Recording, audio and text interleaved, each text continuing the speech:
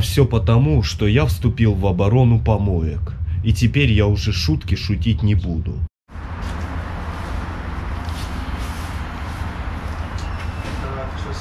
Интересно.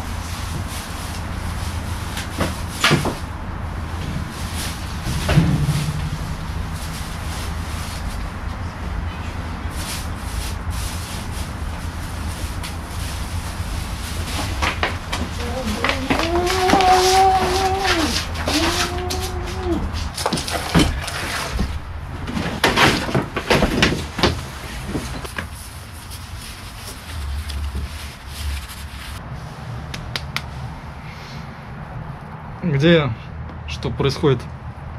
Штребух? Ты, сука, Вася, ты что забыл на моих помойках? Слышь ты, бля. Да, я вообще не при делах, я ключи потерял просто. А ты вообще кто такой по жизни? Я в Питере тоже про находки снимаю, видел свой канал. Короче, если у тебя до пятницы не будет 500 подписчиков, то здесь ты остаешься и будешь мне добывать находки в помойках. Ты понял? Ладно, все, я понял. Короче, братва, подписывайтесь на его канал, он тоже ищет находки в Питере, а если вы не подпишетесь, он здесь останется и будет моим рабом. Ребят, подпишитесь, пожалуйста. Я не хочу быть у Штребуха рабом. Подержи пока вот это и не отпускай. Это обзор моих находок из помойки. Усаживайтесь поудобнее и всем приятного просмотра. Привет. Лови.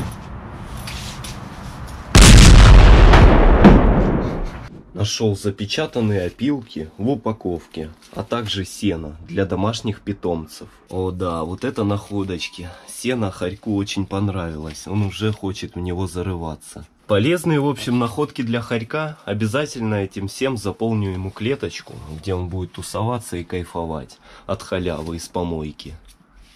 Нашел 4 жестких диска. Первые два VD Blue и еще два от бренда Sea Jade. И все четыре саташных, а это означает, что это топовые жесткие диски. Вот эти оба на 160 гигов. Насколько вот эти неизвестно, здесь ничего не написано. Ну а насчет их работоспособности я вот лично не уверен. Нужно будет приносить домой и все их тестировать. Пока что не успел это сделать, но если они рабочие, их можно будет продать рублей по 400 за диск. Нашел электронный кальян от бренда E-House. Полностью рабочий, но в комплекте ничего кроме него не было. Работает просто превосходно. Положу его в сюрприз-бокс. Прикольная тема, но устаревшая. Сейчас в тренде вейпы. Я уже когда-то находил подобный кальян, он был полностью новый, в коробке с документами, но он, к сожалению, не работал. А этот полностью рабочий. Просто сказка. Нашел пивную заправочную станцию. Поначалу я вообще не мог понять, что это такое. Но потом, когда увидел вот эту дыру, куда заливается пиво, я все понял.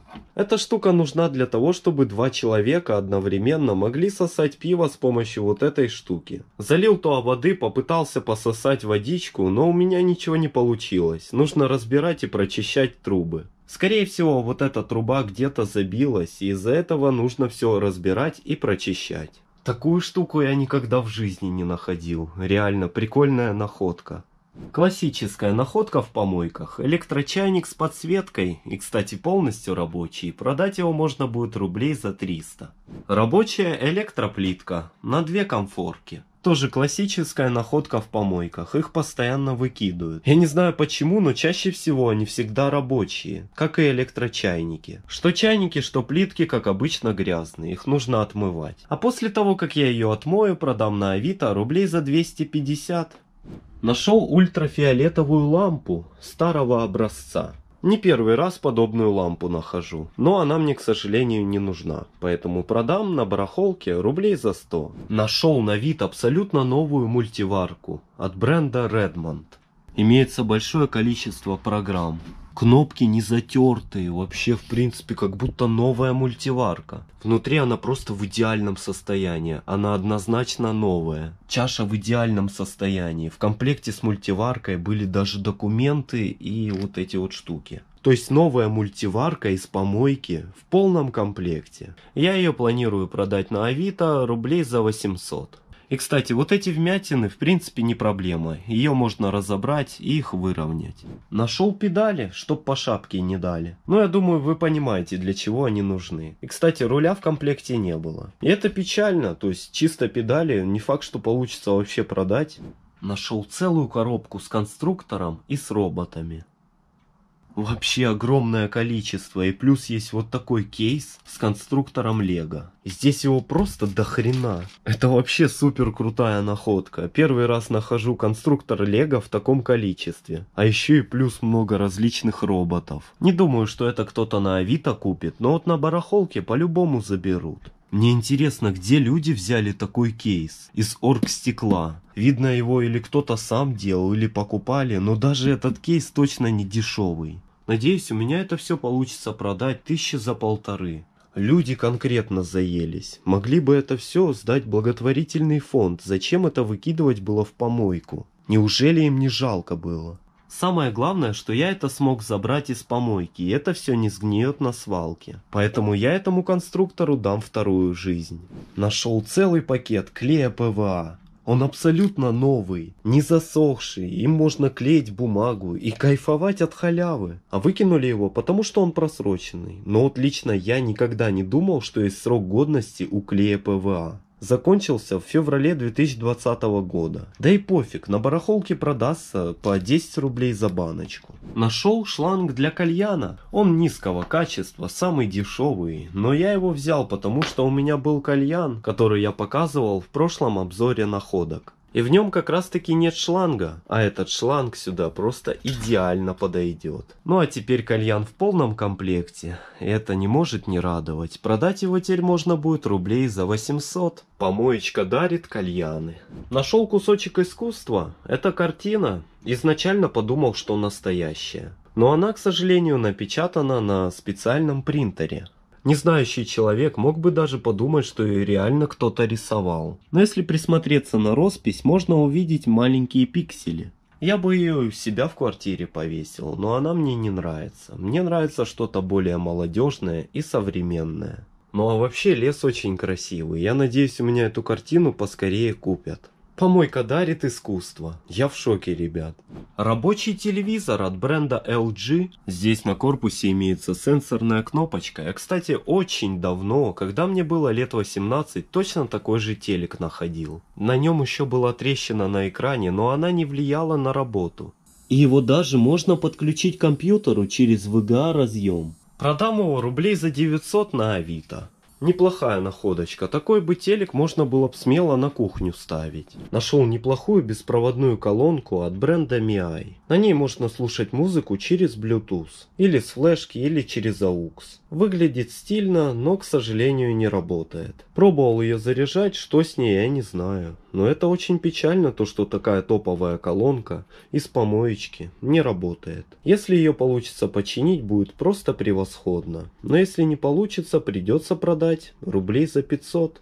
Возможно, внутренняя батарея сдохла, из-за этого колонка не работает. Помойка радует, но в то же время расстраивает, когда я нахожу что-то нерабочее. Стильная настольная лампа, но, к сожалению, она без лампочки. Но я думаю, лампа по-любому рабочая. И продать ее можно будет рублей за 200. Крутая находка. Полезная для дома. Но у меня уже есть классная лампа в гараже с прищепкой, поэтому мне вот это не нужна. Один мой хороший подписчик с именем Максим подарил мне крутой штатив. Он просто офигенный. Максим, спасибо тебе большое. Он мне еще дал диджейский пульт от бренда Stanton и попросил его продать. Поэтому если кто-то из вас увлекается музыкой, этот диджейский пульт я продам за 3000 рублей. Модель Stanton M304.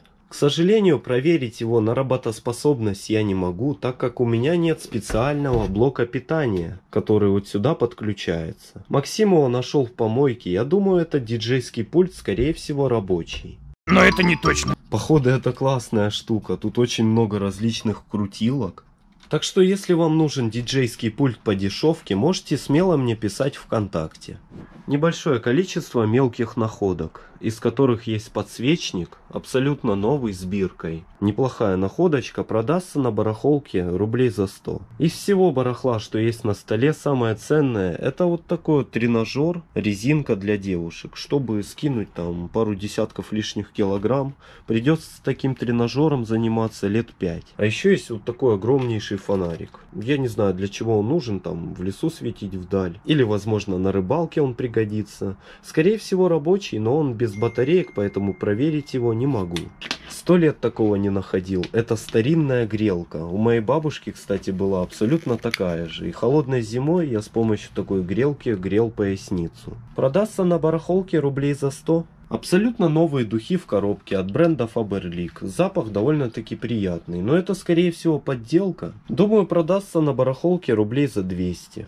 Нашел какой-то массажер, но он, кстати, не рабочий, поэтому провод заберу на медяшку, а массажер выкину. А еще нашел Феррари на пульте управления. Смотрится довольно-таки неплохо. Продастся на барахолке рублей за 100. Вот если бы она была настоящей, вот это было бы просто офигенно. А так это бесполезная игрушка.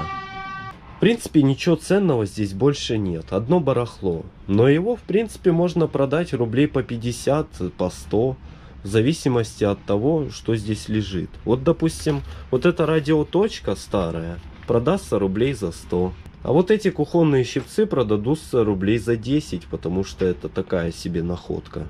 В принципе, дешевая. Я очень рад, что в этом мире существуют барахолки, и все это барахло можно удачно там продавать. И если хотите, чтобы я заснял видос барахолки, поставьте этому видосу лайк и напишите об этом в комментариях. Два рабочих фена. И кстати, вот такой фен я первый раз в жизни нахожу. Он интересен тем, что из него провод достается, как из пылесоса.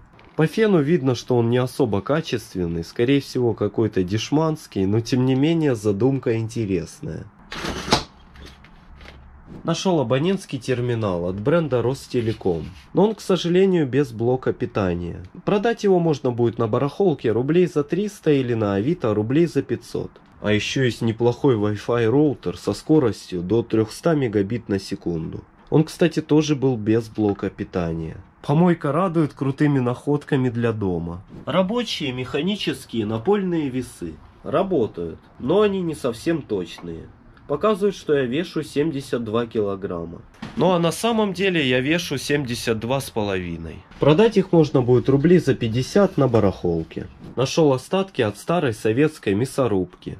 К сожалению, она не в полном комплекте. У моей бабушки такая в детстве была. И максимум, что в ней могло сломаться, это стол, к которому она крепилась.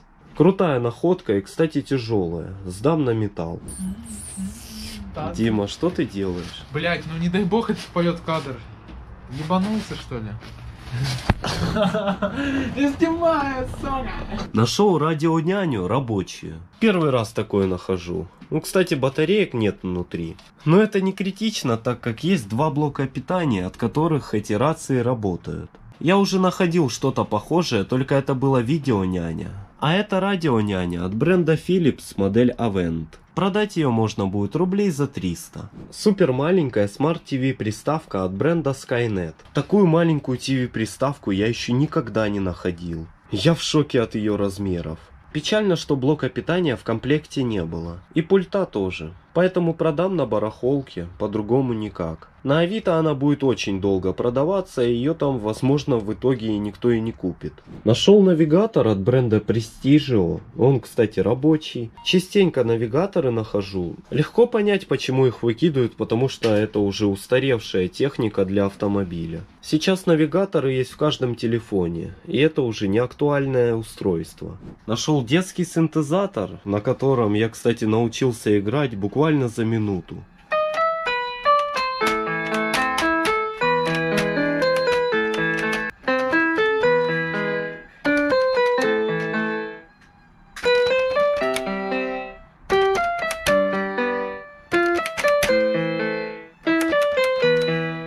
Я надеюсь, вы заценили мои музыкальные способности. Но на самом деле, конечно, это фонограмма, играть я не умею. Но синтезатор, кстати, полностью рабочий, все кнопки работают, даже есть блок питания в комплекте. Продать его можно будет рублей за 300. Тут, кстати, даже есть электронные барабаны. И приятная снизу подсветка. Нашел соковыжималку от бренда Браун на 600 ватт. Я, кстати, уже точно такую же находил, она у меня дома лежит, я ей пользуюсь. Вообще кайфовая соковыжималка. Продать ее можно будет рублей за 500 на Авито. Нашел неплохую кучу товара для барахолки. Самое ценное из всего этого это вот этот объектив от бренда Vega, модель 11U. Полтинник с диафрагмой 2.8. Неплохой советский объектив, который продать на Авито можно рублей за 500. А еще есть диагностический автомобильный кабель, с помощью которого можно обнаружить в машине различные ошибки. Судя по качеству, стоит он скорее всего недорого, но я думаю продать его можно будет рублей за 300. А еще есть большое количество различных переходников, и они кстати новые. А еще есть два диска с четвертой GTA. Часы с порванным ремешком от бренда Яхонт сделаны в Петергофе. Замок для межкомнатной двери, а также личинка с ключами. Два аккумулятора для вейпа, возможно рабочие. И самое крутое, на мой взгляд, что здесь есть, это велосипедная цепь от бренда Shimano. Она немного ржавая, но, кстати, она очень легкая. Такую легкую цепь я еще в руках не держал. Продать ее на барахолке можно будет рублей за 100. И, кстати, видно по качеству, что цепь оригинальная. Пусть ржавая, но тем не менее кататься на ней можно. В принципе, самое ценное показал. Все остальное это барахло, которое купят на барахолке рублей по 5 по 10. Когда я нашел этот телефон, я никак не мог подумать, что он не настоящий. Оказывается, это муляж. Но то, что это муляж, я понял не сразу. Изначально начал его юзать, пытаться кнопку нажать, пытаться включить, зарядить, но это не дало никаких результатов. В итоге, когда посмотрел в дырку, куда вставляются наушники, увидел, что она прорезана не до конца. И та же кнопка включения просто не нажимается. В общем, я нашел Samsung Galaxy A6 Plus, но, к сожалению, это муляж. Интересно, покупают ли такие телефоны и зачем? Тут даже платы внутри нет, вообще ничего. Когда нашел, прям жестко обломался. А когда нашел эти рубли, я подумал на секунду, что они настоящие. Но когда увидел надпись 100 дублей, я все понял. Меня снова помойка обманула. И расстроила не только с этим ненастоящим телефоном, а еще и с баблом. Да, помойка реально обламывает. Вот что с этим делать, я не знаю. Но скорее всего положу это все в сюрприз-бокс.